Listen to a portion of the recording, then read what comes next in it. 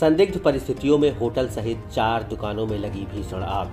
भोर में लगभग तीन बजे लगी दुकानों में भीषण आग। चारों दुकान पूरी तरह से जलकर हुई खाक। गलीमत रहा कि कोई व्यक्ति दुकान में मौजूद नहीं था। नहीं तो हो सकता था बड़ा हादसा। सूचना पर काफ़ी देर से पहुँची फायर ब्रिगेड की गाड़ियों ने आग पर पाया काबू।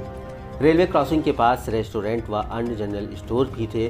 दुकानें हादसे में कोई भी हताहत नहीं हुआ। पियरी थाना क्षेत्र के रेलवे क्रॉसिंग के पास की घटना